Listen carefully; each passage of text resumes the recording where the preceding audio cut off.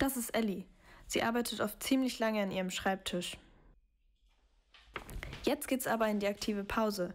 Darauf freut sie sich heute am meisten, denn es steht ihr liebstes Hobby an. Yoga. Oh nein, die aktive Pause fällt aus. Ach Mann, wie schade. Jetzt muss Ellie doch weitermachen. Oder?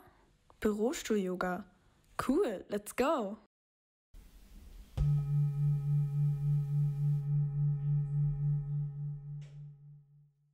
Wow.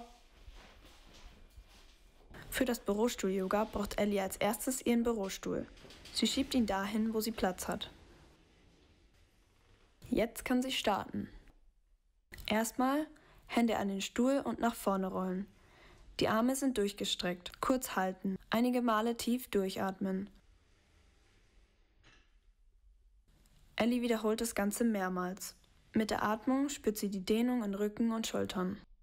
Dann rollt sie wieder nach hinten und wiederholt so oft, bis sie sich genug gedehnt fühlt. Die Übung mobilisiert die Schultermuskulatur und lockert sie auf.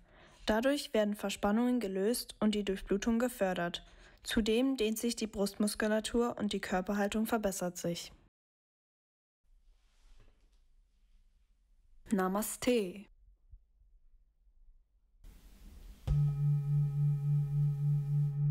So, jetzt geht's für Ellie wieder an die Arbeit, aber Bürostuhl-Yoga wird sie ab heute öfter machen.